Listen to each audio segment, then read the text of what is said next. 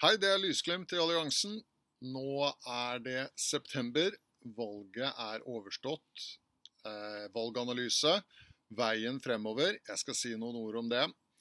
Først og fremst til alle i alliansen, gratulerer med valget. Dette har vært et kjempevalg for alliansen, og vi har gått kraftig frem. Kraftig frem har vi gått. Jeg vil si sånn veldig grovt, så vil jeg si det er eh, et sted mellom togangeren og tregangeren i resultat. Altså dobling eller tredobling i resultatet. Litt avhengig av hvordan du leser resultatene. Jeg har laget en analyse som ligger på min Facebook-web, som du kan gå inn på siden der og se nøyaktig hvordan analysen eh, deles opp. Men eh, det grove, store bildet er en veldig sterk fremgang, to- eller tregangeren, og det er fantastisk. Sånn at vi har veldig vind i seilene. Det har vi også i organisasjonen. Det er veldig mye folk som kommer til nå. Vi har fått helt utrolig mye presse og PR. Vi er blitt en del av av tidsånden. Vi er blitt en del av det politiske bildet. Vi er blitt en del av de partiene man snakker om, og, det blir tatt opp i TV-programmer osv. Så, videre. så det er helt fantastisk hva vi har fått til på denne valgkampen 2019, fra vi startet i vinter til nå resultatet. En, en kjempeinnsats. Og enorm takk til alle som har bidratt på alle mulige måter. Det er så mange som har bidratt på så mange måter. Og det er rørende, og det er fantastisk. Og vi bygger organisasjon, og vi bygger et samhold, og vi får en oppvåkning som er det Norge trenger. Og alliansen er nøyaktig det Norge trenger nå. Vi må bare stå på videre for alt det er verdt på alle måter for å bygge videre på denne suksessen. Om vi går inn på resultatene og ser på resultatene, så ser vi at den type fremgang vi har hatt nå på to år, hvis vi fortsetter den trenden og virkelig kjemper på, så er politiske resultater virkelig mulig å komme inn steder og få til ting. Altså I store fylket Viken som jo da er 1,2 millioner mennesker, det største fylket i Norge, og som jo da er hva er det, en, et sted mellom eh, under en, en fjerde, femtedel av Norges befolkning, så fikk vi en halv prosent, 0,5 prosent. Uh, og det er jo opp da fra resultatet i stortingsvalget på tilsvarende fylker på 0,1% Så det isolert sett er jo en femdobling der. En femdobling. Eh, så det, det er helt, helt, fantastisk. Og i enkelte steder i Viken så fikk vi altså På rekordstedet i Vestby så fikk vi 2,5% av stemmene. Eh, og det er jo virkelig Da begynner det å virkelig å lukte fugl. Da begynner det å lukte stortingsplass. Da eh, begynner det å lukte utjevningsmandater og komme inn. Så det er, det er absolutt mulig om vi virkelig holder trykket oppe maksimalt, og at alliansen blir det partiet som samler opposisjonen i Norge, som samler alle som vil stoppe masseinnvandringen, som vil stoppe islam, som vil stoppe globaliseringen, som vil stoppe amerikaniseringen og de krigene som Amerika og Israel vil føre i eh, Midtøsten, at vi samler oss rundt alliansen, og at alliansen blir det som gjelder. Norge først, stem alliansen. At det er alliansen alle samler seg bak, det er fullt mulig. Da er de mest fantastiske resultater fullt mulige. Om vi ser på resultatene, så stilte jo da alliansen tre lister i eh, år til valget. Vi stilte til kommunestyrevalget i Oslo kommune. Vi stilte liste til kommunestyrevalget i Drammen kommune. Og vi stilte til fylkestingsvalget i Viken kommune. Og der er det jo Viken som er det absolutt største stedet, med 1,2 millioner mennesker. Og så er det da Oslo med omtrent halvparten, litt under halvparten. Og så er det da Drammen, som er en ganske mye mindre sted. Om vi begynner da med Drammen, så fikk vi en halv prosent der. Fantastisk bra. I Drammen var vi mye. Vi har et fantastisk team i Drammen. Så det, det er en kjempeinnsats som er gjort i Drammen. På eh, Fjell eh, valgsted i Drammen så fikk vi 2,4% Der har vi førstekandidaten, så der er det åpenbart jobbet veldig bra. Så har vi da ja, la, la, oss ta Viken, da, siden eh, det er det beste resultatet. Og det som virkelig har eh, Som skinner denne gangen, altså, som er helt fantastisk. I steder sånn som Lillestrøm så får vi altså 0,9 Svært sted som Lillestrøm, 0,9% Én av 100 velgere stemmer alliansen. Det er helt fantastisk, og det gir oss fantastisk energi og drive til å fortsette og fortsette å bygge. Fordi det vi ser, er at de stedene vi når ut til, der gjør vi det bra. Så nå handler det om dels å generelle trykket, men også se på hullene og så komme ut og virkelig nå ut der vi ikke har nådd ut. Og det handler mye om å jobbe strukturert og, og strategisk og se Veldig mye handler om litt sånn skal si, organisasjonsbygging og at man må på en måte tenke som å starte et selskap eller bygge en organisasjon. Eh, og se på hvor det mangler ting geografisk, og gå inn med ressurser. Og, det er en annen måte å jobbe på enn alliansen har jobbet på tradisjonelt. For tradisjonelt har vi vært litt sånn at vi har sagt sannheten og konfrontert løgnerne, og så har det blitt eh, mye styr rundt det. Og så har vi på en måte skapt et energifelt, og vi har fått en del stemmer ut ifra det. Og det er veldig greit å starte med. Eh, det er sånn vi har gjort det.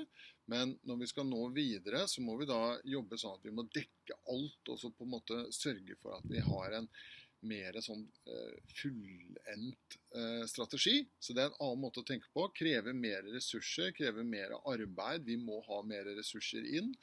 Får, valgresultatet har også gitt oss en del ressurser, men vi må fortsette å få donasjoner. Vi må få flere som donerer, flere som stiller opp, flere som gjør ting. Så det er, det er veldig mye som skal gjøres, men, men det om det. Alliansen er altså 0,5% i Viken fylke, som da er sammenslåingen av gamle Østfold, Akershus og Buskerud fylke. Og så er det da masse delresultater på disse her, og mange steder vi har gjort det bra. Eh, en del steder hvor vi ikke har noen stemmer i det hele tatt, nesten. Og det forteller meg at det er ikke sånn at ingen vil stemme alliansen der. Vi har bare ikke nådd ut dit. Snarere så er det sånn at de beste resultatene, på 2,5% i Vestby f.eks., for det forteller oss noe om potensialet. Det kan vi også få i Lillestrøm. 2,5% kan vi også få i, i Asker. Eh, dette her kan vi få til i, Moss og i Fredrikstad og mange steder, bare vi når ut og sørger for å få ut budskapet. Bra folk, tilstedeværelse, dele materiale osv. Så, videre. så det gir meg en veldig eh, god følelse av hvor vi skal videre.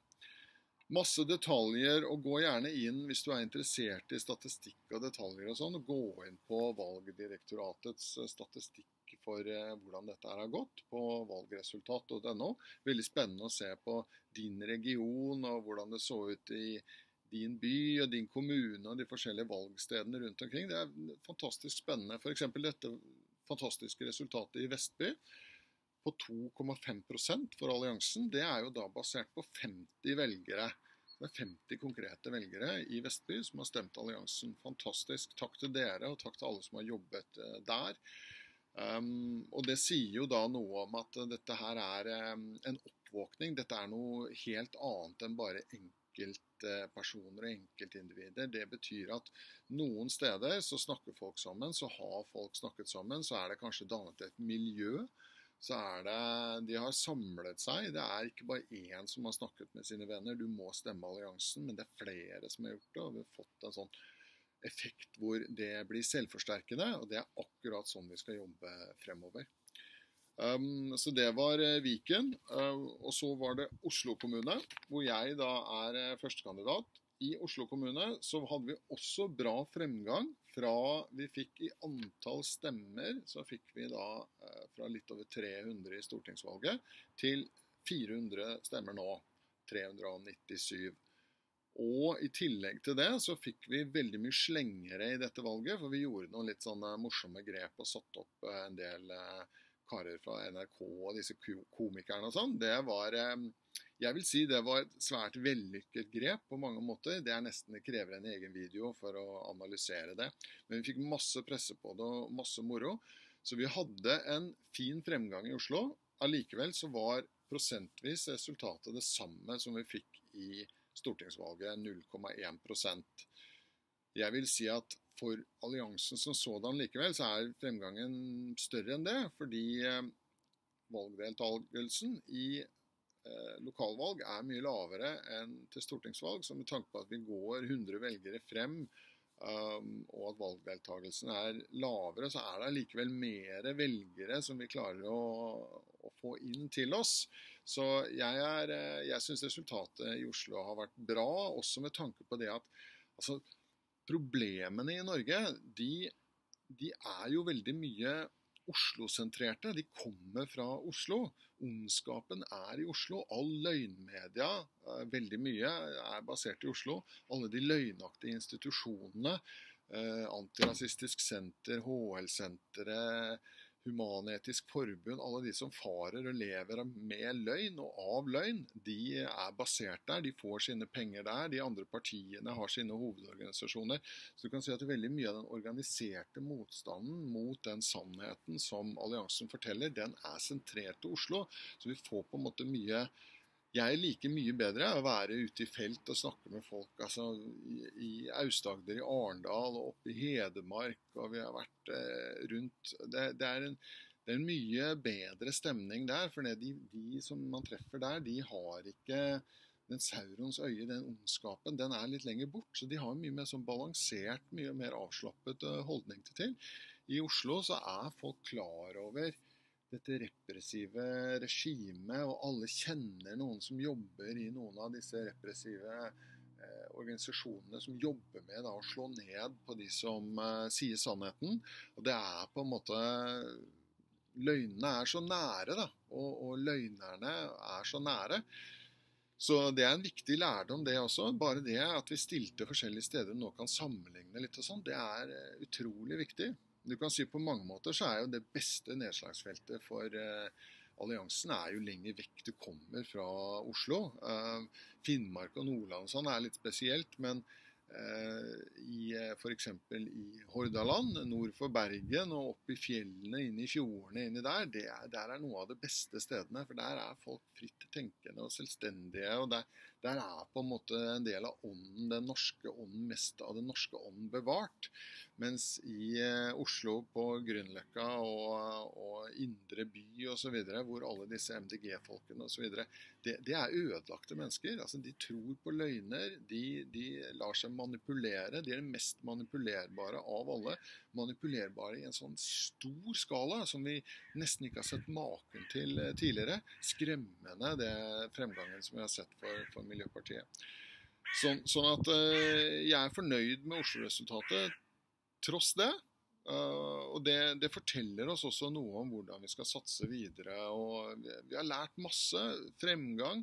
Rent uh, økonomisk for alliansen som parti, alle grener og lokallag og allting sånn, så regnet jeg på det nå. Vi tilføres 540 000 kroner i nye, friske penger i stemmestøtte. Fantastisk. Da har vi til å bygge lokallag, ungdomsorganisasjon og fortsette å kjempe for eh, sannheten og, og, det som er riktig i Norge først. Så hva skal nå skje fremover? Um, vi skal jobbe Neste punkt nå for alliansen er jo stortingsvalget i 2021. og Der skal vi stille opp i alle fylker. Og vi skal ha lokale lister, og vi skal ha et kjempeopplegg der. Nå har vi to år å jobbe med dette her sånn. Uh, og det jeg har innsett, er at det er på en måte bare tiden og veien. Da. Så jeg er allerede i gang. Jeg er nå med å sette opp lister og tenke ut hvordan vi skal gjøre dette. her, Og samle underskrifter og alt som vi skal gjøre. Neste sommer blir veldig preget av det. Samle underskrifter, bygge organisasjon. Uh, neste sommer og neste år, altså 2020, blir også preget av valgkampen som kommer i USA. Uh, hvor Donald Trump skal prøve å få fire nye år, og hvor demokratene kommer til å få opp en motkandidat. Og det kommer til å bli en valgkamp eh, antagelig eh, med et sirkus som vi ikke har sett maken til. Der har jo jeg sagt personlig at jeg eh, stiller meg bak Trump igjen. Ikke fordi at jeg liker alt Trump gjør, og det er vel ingen som gjør, men det er noe med den forandringsenergien som han representerer, og hvordan alliansen kom opp og startet i det energifeltet. Så der spiller jeg det energifeltet ut en gang til. Det er ikke alle i alliansen som kommer til å gjøre engang. Noen er uenige, og det er helt i orden. Det er jo det som er så fantastisk med alliansen. Vi kan få frem ulike syn, og forskjellige mennesker som har ulike syn, og det er en fantastisk styrke vi har. Så det er det jeg skal gjøre. Og eh, da skal vi samle underskrifter og få levert i lister. Og det er masse sånn mekanikk og sånn som jeg må holde styr på.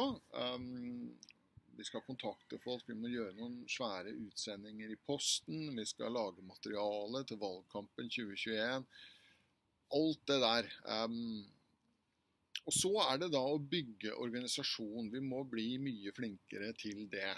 Og det er en sånn krevende oppgave. Man har kontakt med folk og snakker med folk og få unna de eh, spørsmålene folk har osv. Der trenger vi mer folk. Så hvis du er riktig mann, så bli aktiv, eller dame.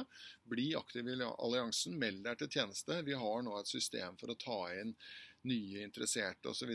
Bruker mye sosiale medier. Eh, vi er på alle de sosiale mediene. Ta kontakt med oss der, så skal vi prøve å koble deg. Det første vi spør om, er hvor er du fra og hvor gammel du er.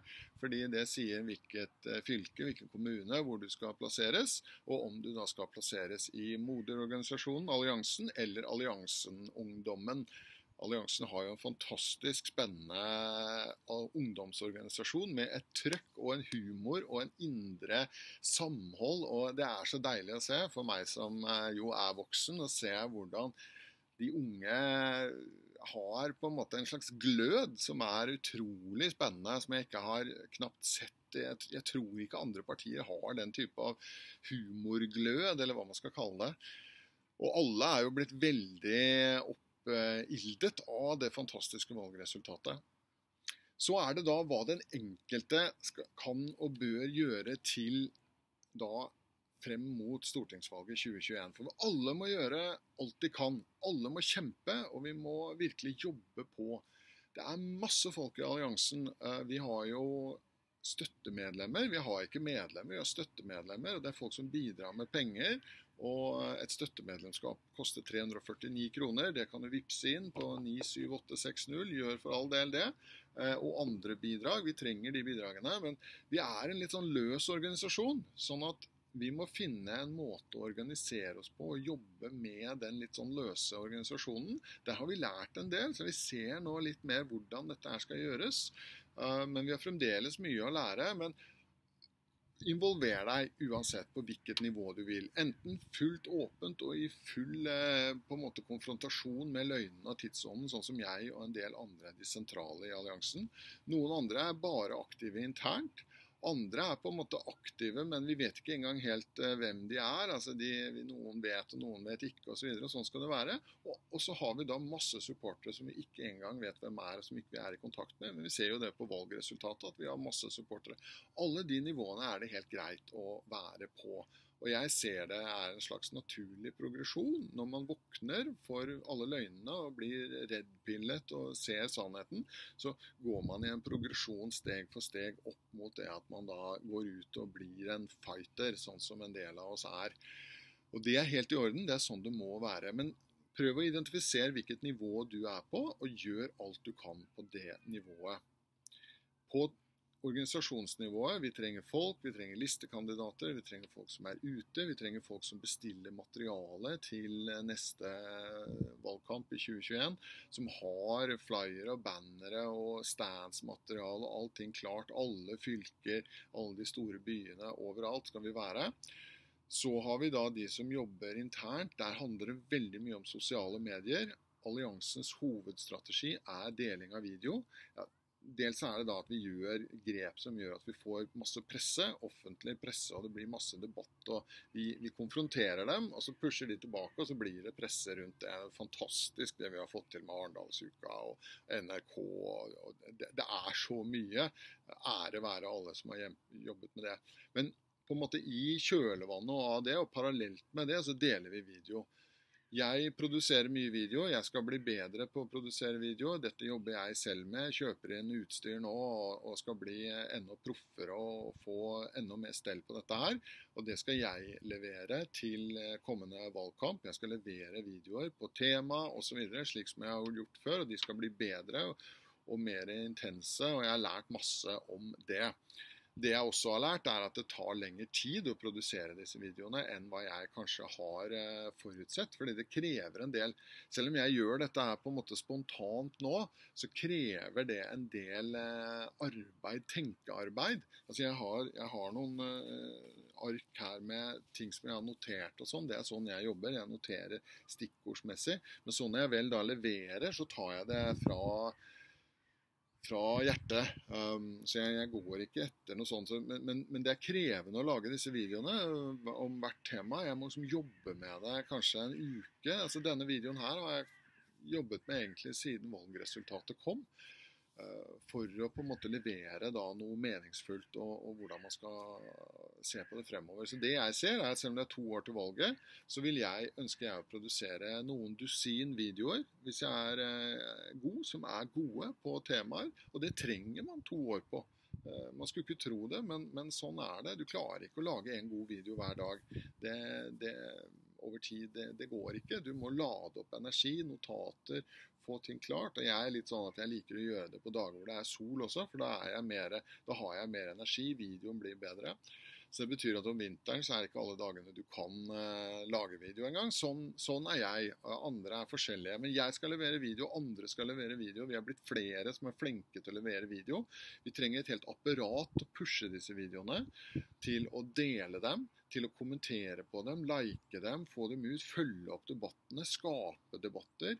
Gå inn i de som kommenterer, eh, si ja, si nei, skape kontroverser, skape debatter, sånn at det blir masse Eh, buzz rundt de videoene våre. og Der er vi minst like flinke som de andre, de virkelig store, etablerte partiene. Og vi kan bli flinkest i klassen på dette her. Det ser jeg helt klart, for vi har talenter som kan få til dette her. Så det skal vi gjøre. Så er det da det med å nå ut forskjellige steder. Dette med videodistribusjon, der er vi helt avhengig av at vi, mange, at, vi er mange, steder. Og det er det jeg ser som et stort behov, og som kanskje jeg vil be alle de som ikke er på en måte i organisasjonene som bare er på en måte litt sånn eh, lurkers, altså som følger med litt og sånn. Prøv å involvere deg mange steder. Meld deg inn i ulike organisasjoner, eh, nyhetsbrev. altså Bli medlem hva vet jeg, i Norsk Folkehjelp og Røde Kors og, og eh, Eldreforeningen i eh, Elverum og Det er jo så Organisasjons-Norge overalt. De har nettsider, de har newsletter og trykksaker og Facebook-sider og sånn overalt. Og Så forbereder du sånn at du tenker til valgkampen da i 2021. Da skal jeg gå inn med alliansemateriale, sannhetsmateriale, også fra andre som forteller sannheten, og dele og, og på en måte skape debatt i mine lokale nettverk. Og bruke den tilliten som du da har bygd opp i Norsk Folkehjelp, eller i eldresenteret i Elverum, eller i Speideren eh, i eh, Møre og Romsdal, eller, eller, hvor det enn er, til å på en måte få inn noen stikk. Få noen sannheter sagt. Litt avhengig av hvor, hvor tøff du er, og hvor, hvor tøff du vil være, og hvor langt du vil dra deg. Forhåpentligvis kan du dra det veldig langt ordentlig langt. Det håper jeg også noen gjør.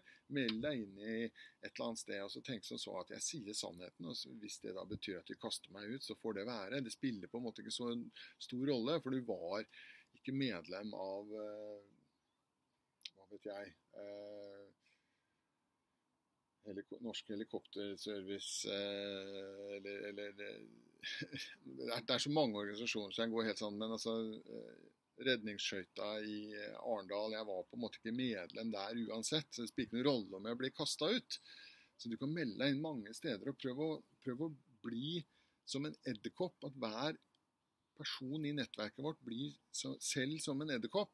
Vi trenger ikke engang vite om hverandre. Når vi bare ser noen som sier sannheten et eller annet sted, så deler vi det, og så støtter vi. Og så, så det betyr at vi trenger på en måte Vi, vi, vi kan fungere som en sånn sannhetsmekanisme uten at uh, det blir så sårbart for at vi skal bli angrepet tilbake osv. Den enkelte kan si ja, nei, jeg, dette mener jeg, det står jeg for. og den Krigingen i Syria, det må stoppe. og Jeg vil ikke ha krig i, mot uh, Iran og, og, og, det og det som det er Et trykk. Et trykk med sannhet. Og ekstremt mange stikk. Altså mange, mange, Tusenvis av stikk når det blir valgkamp neste gang. I 2021 så må du ha hver dag så er det tusenvis av stikk i sannheten mot løgnerne. For å drepe disse monstrene, demonene av løgner som er skapt. Eh, så, så stikkes det, det, det jobbes eh, på den måten. Det er det som må skje. Det er et sånt moment. Og der kan alle bidra. For det som vi jobber for i alliansen, det som må skje, det er jo en endring av selve tidsånden. Og det har vi faktisk fått til. altså Jeg føler på meg. Det skjer noe. Og der har alliansen vært en, og er en betydelig bidragsyter til å forandre tidsånden, og, og, at folk ser hvor mye løgner det er. Og, og Mainstream-media er bare fake og løgn og rigging. Eh, NRK er bare fake og løgn og rigging. Alle de etablerte partiene, alle partiene på Stortinget, samtlige av dem, er bare ljug og fandenskap og djevelskap. Samtlige av dem. De er helt sånn fanget av den globalistiske USA-Israel-tidsånden som vi må knuse for å ta tilbake selvråderett og ta tilbake Norge og hvem vi er. Sånn at øh, den oppvåkningen, den er allerede i gang. Det er ikke sånn at vi skal starte fra scratch. Det er noe stort på gang. Og det skal vi hjelpe til å dra opp, og alle skal kjempe. Kjemp så mye du kan. Nå har, har altså Den mest aktive alliansen-gjengen har kjempet en fantastisk valgkamp. Det går jo, Man kan ikke kjempe like mye hele tiden. Nå, for, for, min del så, så, er det på en måte litt sånn mellom uh, nå. Vi har gjort en fantastisk valgkamp og valg. Nå må man også se til litt andre ting. Uh, og så blir det neste sommer blir det, Jeg skal over til USA og være med en del på Trump-rallies uh, og, og, gjøre en del der borte. Og så er det valgkamp i 2021. Sånn det går litt i rykk og napp. Sånn er det for alle. og Pass på helsa og jobb med trening. og, og på en måte, det er, det er så mange ting man må ta hensyn til. Og, og, og, tenk strategisk på hvordan kan jeg spille en rolle, hvordan kan jeg hjelpe andre, hvordan kan mitt nettverk bli større, hvordan kan jeg ta kontakt med andre som jeg tror er litt på samme sporet, som jeg vet er alliansen-folk og, og, andre folk. Ta og Slå på tråden, send en e-post, ta en kopp kaffe, snakk med en venn, snakk med en kollega. Det er, det er liksom i løpet av de to årene som er til neste stortingsvalg nå, så er vi nødt til å gjennomføre tusenvis av samtaler over kaffebordet på eh, arbeidsplasser. Tusenvis av familiesamtaler over julebordet. Tusenvis på tusenvis. Det er et moment som vi bare må En, en, en maskin av sannhet. En, vi, vi, har fått til et svinghjul som skal opp i moment og opp i fart. Og få disse løgnene ut det er fantastisk uh, å se alt som skjer. og Det er, uh, det er en fremgang. Uh, det er mange som prøver å motvirke oss og ødelegge for oss. Men vi klarer altså en veldig sterk fremgang på tross av det. Og det er utrolig gledende. Takk til alle som er med, takk til alle som blir med, takk til alle som har lyst til å bli med, som, eh, som endelig kommer om bord. Alliansen er tingen, alliansen er partiet, alliansen er partiet som skal redde Norge. og Det er veien fremover. Sterkt alliansen er et sterkt Norge.